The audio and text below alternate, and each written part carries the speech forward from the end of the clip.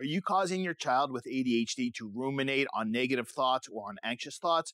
You might unintentionally be, and let me explain why. It's very easy for the ADHD brain to get stuck on things and have difficulty moving on. This has to do with cognitive flexibility, which is an aspect of executive functioning that is very rarely talked about. So, if your child has a propensity to get stuck on things and has difficulty moving on, well, I want you to take into consideration that the more we talk about negative feelings or the more we talk about negative experiences, the more likely they are to ruminate on them and to get stuck on them. And in many cases, that can create more anxiety and it could make them feel even worse. You know, one of the things I always say is that over the past 30 years, I believe the child psychology field has taught parents to play what I call armchair therapist. What I mean by armchair therapist is a lot of parents have been led to believe that it is their job to constantly be talking about feelings and processing emotions with their kids and asking questions like, How did that make you feel? Obviously, we all want our kids to be emotionally articulate. We all want our kids to be able to express how they feel. However,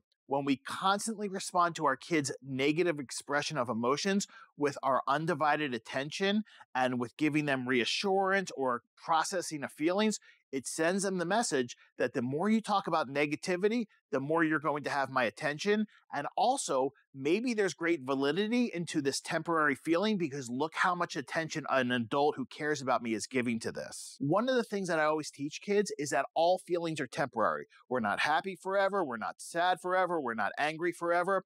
And often I think parents lose sight of the fact that we have to teach kids that emotions come and go. We all want our kids to be emotionally articulate. We all want our kids to express themselves but giving them constant attention for negative expression of emotions, that's not necessarily going to help them or make them feel better. And in many cases, it actually makes them feel worse. I want to share something that's not too well known to most people you know, there's this idea that when people actually have trauma, and I'm not talking about temporary discomfort, I'm talking about serious trauma, that somehow them constantly talking about it is going to make them feel better. Well, actually, when people are led into constantly talking about trauma, it actually makes them feel worse and it can retrigger that same emotions that happened during the traumatic experience. Definitely acknowledge your child's feelings. Ask them, is that something you want to talk about? If they don't, let it go. Avoid playing armchair therapist where you're constantly asking, how did that make you feel? Or asking why questions. And please keep in mind, those of you who are parents of boys, it often takes boys longer to process their emotions and put language to their emotions, which is why therapy tends to really not work for boys and why your son might take longer to come and talk to you about something that's bothering him, which is totally fine. That's a natural way his brain works. And finally, remember, we want to teach kids that all feelings are temporary and no negative feeling is going to last forever. And they've gotten through negative feelings before and they will get through this. Hope this is helpful. I'll talk to you soon. Take care.